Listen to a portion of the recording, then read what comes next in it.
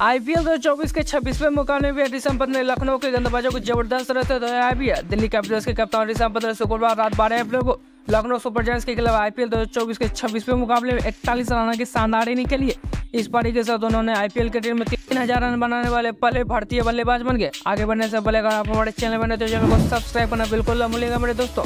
जी का पहले बल्लेबाजी करने उतरी लखनऊ सुपर जायंट्स की शुरुआत बेहद ही खराब थी। टीम ने पावर प्ले में दो विकेट गवा बैठे थे। किंडोटी को तेरह गेंदों में उन्नीस रन और देवदेव पाटिकल छह गेंदों में तीन रन बनाकर आउट हो गए।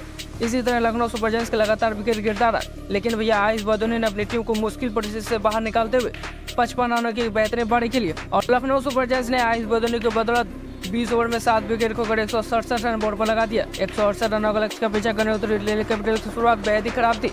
पावर प्ले में एक विकेट गवा बैठे थे डेविड वार्नर नौ गेंदों में आठ रन। और पृथ्वी बाईस गेंदों में बत्तीस रन बनाकर पेविलियन उठ गए। इसके बाद ऋषभ पंत और फ्रेजर के पीछे अच्छी साझेदारी हुई। फ्रेजर ने पचपन रनों की शानदार इनिंग खेली और कप्तान ऋषभ पंत ने चौबीस गेंदों में इकतालीस रन बनाकर आउट हो गए। और लास्ट में ट्रेस्टन स्टेबर्स और होप ने मिलकर लखनऊ सुपर जायंट्स को छह विकेटों से हरा दिया। मिलते हैं दूसरे वीडियो में, तब तक के लिए धन्यवाद मेरे